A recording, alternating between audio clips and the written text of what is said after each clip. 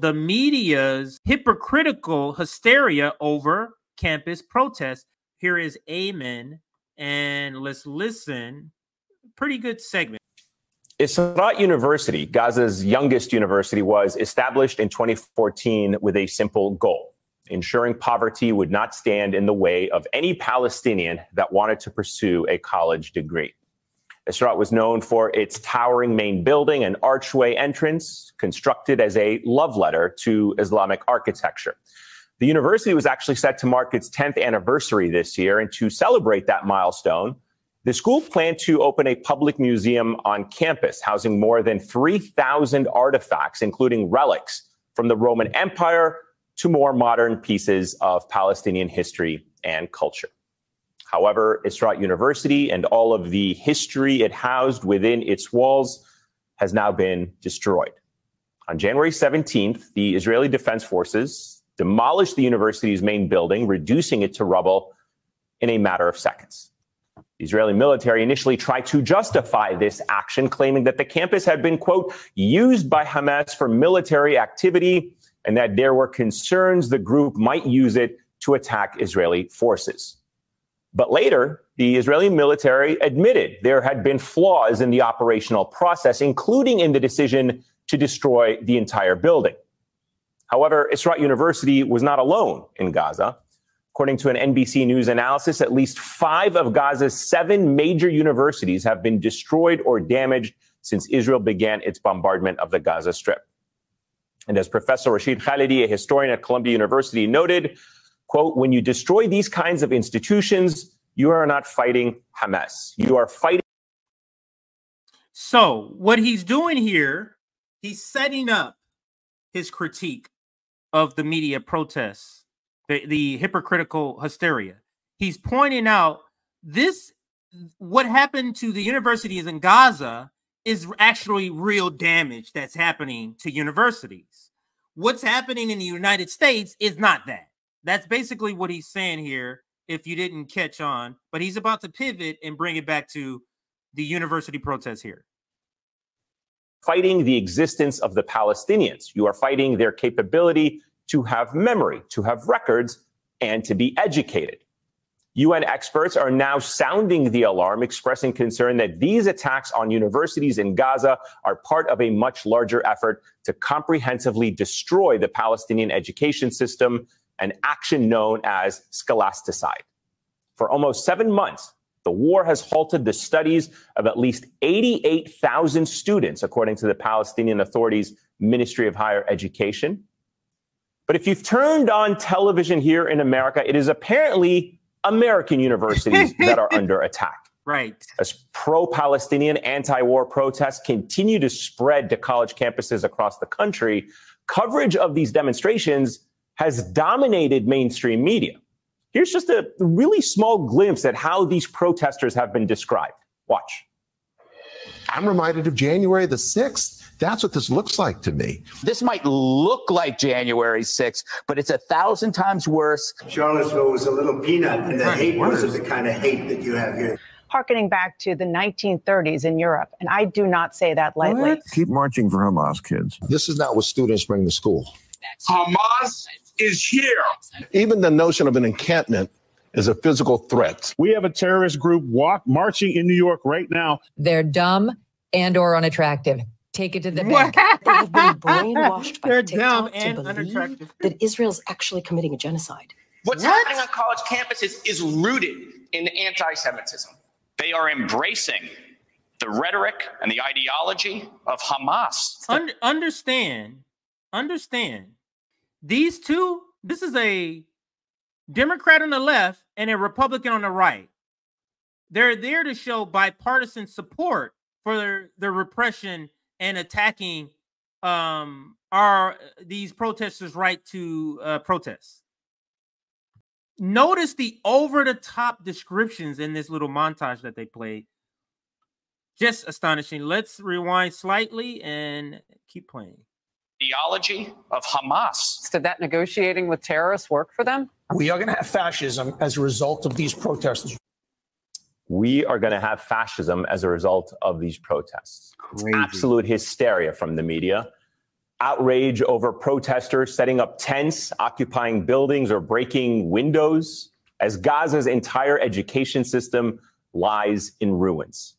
US media have become obsessed with this manufactured idea of violence sweeping across American campuses, all while failing to cover the very real violence that has decimated an entire generation's access to education.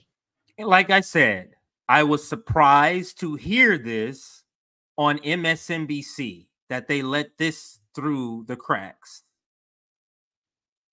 Let's continue. But the media isn't doing this alone. Here in New York City, Mayor Eric Adams has given them an assist, making himself, as the nation's Jeet Heer describes, the public face of the nationwide campus crackdown on pro Palestinian activism. At a press conference this week, Adams attempted to rationalize the NYPD's crackdown on Columbia University, claiming he's preventing young people from being, quote, radicalized by what? professionals. New York City Police Deputy Commissioner Tarik Sheppard has gone in on the baseless fear mongering as well touting bike chains. Yeah, bike chains, literally bike chains sold at a discount by Columbia University as some kind of sinister weapon that has been brought in by outsiders. If you want to, Be- because you want to lock your bike up and prevent it from being stolen. It is. This is just. I've never seen. It's. It's been a long time. I've, I haven't seen this over the top sort of uh, rhetoric about protests like this. I've never seen it this uh, crazy to be just uh, quite honest with you. This is this is crazy to me. Debunking the outside agitator trope amid pro-palestinian campus protests. As pro-palestinian and anti-war protests spread to college campuses across the country there was one phrase that kept popping up outside agitators. Outside agitators. Those outside agitators. Them as outside agitators. Outside agitators. Outside agitators. Outside agitators. Paid outside agitators. Outside agitators.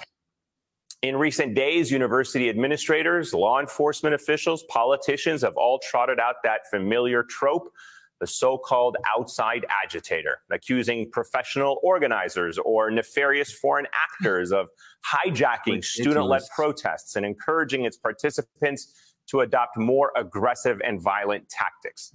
Just yesterday, a bipartisan duo consisting of Congressman Republican Mike Lawler and Democrat Josh Gottheimer called on the FBI to investigate who's its shadowy figures. A similar sentiment was shared online by the NYPD chief of patrol, who accused a quote, unknown entity of radicalizing our vulnerable students and taking advantage of their young minds. He urged his federal partners to quote, follow the money. Now, we should be clear here. Some of the hundreds of people arrested at campuses across the country over the last few weeks are Jewish, have not been students, including at Columbia University, where city officials say 29% of those arrested last week had no connection to the school. But as the New York Times reports, there's little evidence that those so called outsiders had any role in organizing or escalating the protests. In fact, many were arrested without ever having set foot on campus.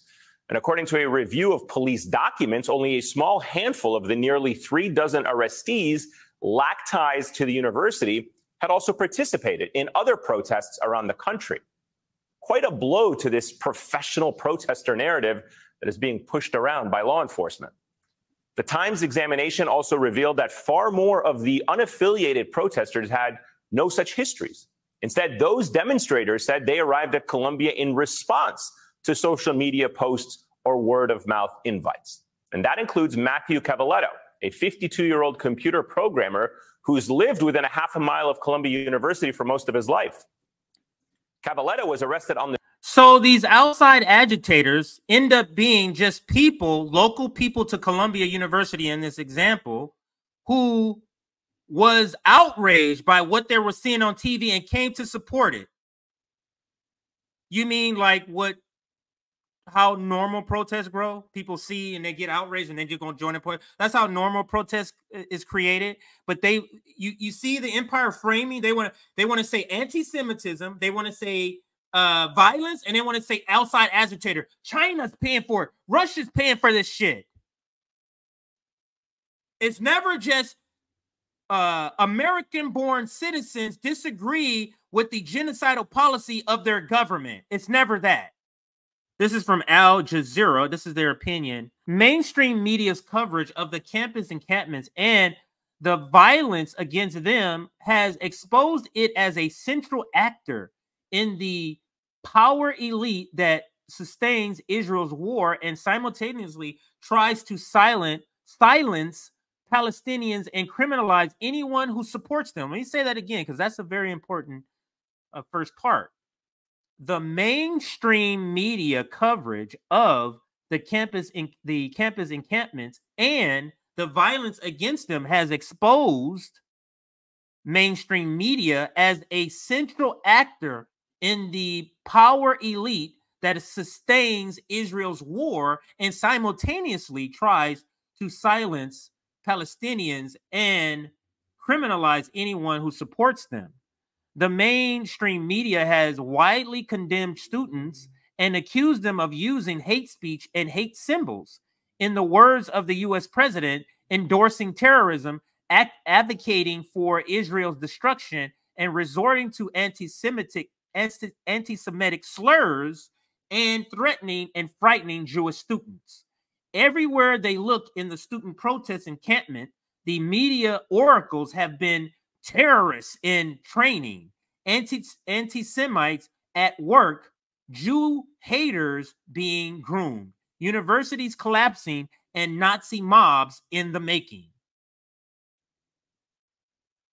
Prominent TV hosts have unleashed passionate, and we're going to get to that, Dana Bash. Prominent TV hosts like Dana Bash have unleashed passionate, vicious diatribes against the students who have clamped out, who have camped out to demand an end to America's role in Israel's genocide against Gaza and peace and justice for all in Palestine. MSNBC's Morning Joe show, reportedly a Biden favorite, is one glaring example of systematic bias TV programming that sometimes veers into incitement against the student protests and the university administrators. One of its hosts, Joe Scarborough, has claimed that students want to, quote, wipe out all Jews, end quote, quote again, they are Hamas on campuses on college campuses, end quote. And they are, quote, not helping those of us who want to fight fascism in America, end quote. His co-host, Mika Brzezinski and wife, had said that the campus protests, quote, look like January 6th, end quote, referring to the riot by Donald Trump supporters on Capitol Hill in January 2021.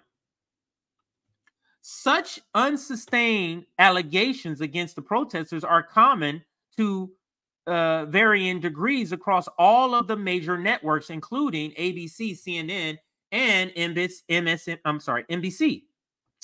A great novel experiment in political physics is underway in the United States as the unstoppable moral force of youth led protests against Israel genocide war genocidal war in Gaza runs into an immovable object of the American power elite support for it.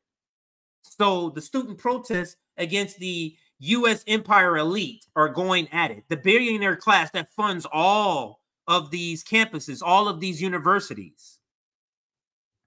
In this clash, the uh, two critical forces have been weaponized the U.S. mainstream media that heavily uh, disseminates Israeli propaganda and shapes many local, state, and national policies, policies, and the scourge of anti-Semitism that has been unfairly used to demonize and silence Palestinians and shift attention away from the U.S.-enabled Israeli genocide in Gaza. Since Israel launched its assault on Gaza, President Biden's steadfast support for it has galvanized young Americans and pushed them to mobilize. They have formed decisive coalitions with Muslim and Arab Americans, Jews, Jewish, Black, and Hispanics, and Native communities, labor unions, and churches. They have given notice that if the U.S. the U.S. continues to support the war, they will abandon Democratic candidate in the November election, which would likely be fatal for the party. And this is and that uh, that last line speaks to what I have been saying. This is not just for 2024. They are losing people for a generation. It's not just 2024 we're talking about uh, the Democrats losing.